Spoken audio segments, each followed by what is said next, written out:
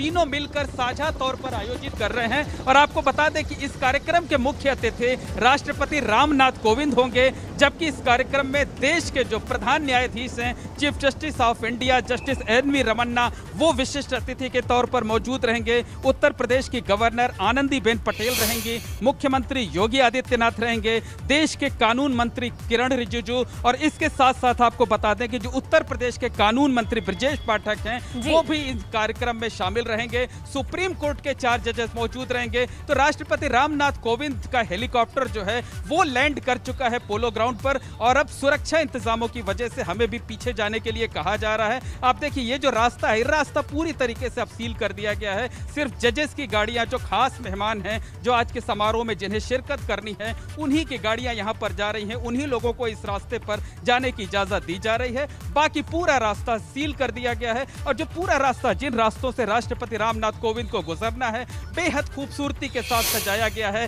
गाड़ियाँ धुली गई हुई हैं। इसके साथ साथ पूरे रास्ते को बैनर, पोस्टर और होर्डिंग्स के ज़रिए पाट दिया गया है ताकि राष्ट्रपति रामनाथ कोविंद जब यहाँ पहुँचे तो उन्हें इस बात का एहसास हो सके कि वो अपने शहर में पहुँचे हैं चूँकि इलाहाबाद हाईकोर्ट में ही, जो बार काउंसिल उत्तर प्रदेश की है, वहीं पर उन्होंने अपना रजिस्ट्रेशन कराया था। यहीं से उन्होंने अपने वकालत के पेशे की शुरुआत की थी और उसके बाद वो गवर्नर बनते हुए सीधे राष्ट्रपति भवन तक पहुँचे। हैं तो संगम नगरी प्रयागराज से, यहाँ वकीलों के बीच से उनका पुराना और गहरा रिश्ता है और उसी रिश्ते की यादों को आज वो एक बार फिर से पहुंचकर ताज़ा करने की भी कोशिश करेंगे। बिल्कुल, मोइन, आपके ज़रिए हम तस्वीरें अपने दर्शकों को दिखा रहे हैं। ये जो इस वक्त जिस जगह पे आप खड़े हैं, जैसा कि आप भी बता रहे कि यहीं से काफिला राष्ट्रपति का गुजरेगा। तीसरा ये दौरा है, इससे पहले दो दौरे भी हो चुके हैं और देखा जाए तो तीन महीने में तीसरी बार यूपी दौरे पर महामहिम है।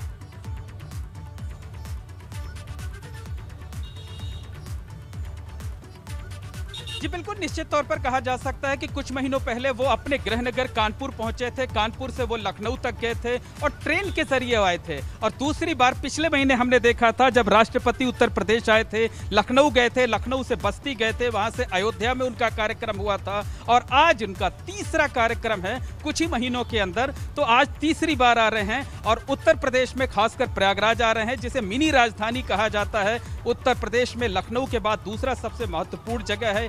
कानून के क्षेत्र में जुड़े हुए जो लोग हैं, उनके बीच वो जाएँगे, भविष्य की योजनाओं की सौगात देंगे। इसके साथ साथ जो है वो वकीलों के लिए जो मल्टी लेवल बिल्डिंग बनाई जा रही है, उसका शिलान्यास उन्हें करना है। तो खास मौका है और इस खास मौके पर राष्ट्रपति रामनाथ कोविंद आ रहे हैं।